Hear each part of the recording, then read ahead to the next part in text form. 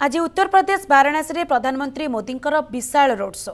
ସାଧାରଣ ସଭାକୁ କରିବେ ସମର୍ଥନ କର୍ମୀଙ୍କୁ ଦେବେ ବିଜୟ ମନ୍ତ୍ର।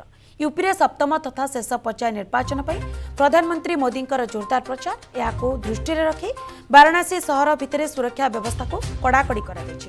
ବିଜେପି ପ୍ରାର୍ଥୀମାନଙ୍କୁ ଭୋଟ୍ ଦେଇ ପୁଣି ଥରେ ବିଜୟୀ କରିବାକୁ ସେ ଭୋଟରମାନଙ୍କୁ ଅନୁରୋଧ କରିଛନ୍ତି। ଉତ୍ତରପ୍ରଦେଶରେ ସପ୍ତମ ତଥା ଶେଷ ପର୍ଯ୍ୟାୟ ମତଦାନ ମାର୍ଚ୍ଚ ସାତ ତାରିଖରେ ଅନୁଷ୍ଠିତ ହେବ। चाव पूरा करने के लिए मेहनत करना जानते हैं।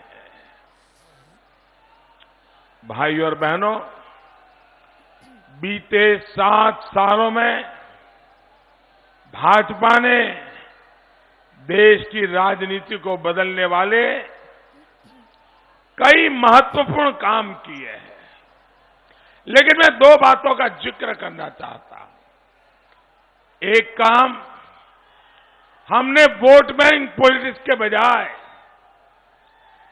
जात पात के भेदभाव के बजाय, मेरा जिला, तेरा जिला, मेरा क्षेत्र, तेरा जिला क्षेत्र, पश्चिम यूपी, पूर्व यूपी, मध्य यूपी, ये सारे भेद मिटा करके सिर्फ़ और सिर्फ़ सबका साथ, सबका विकास की राजनीति को हमने केंद्र में रखा है।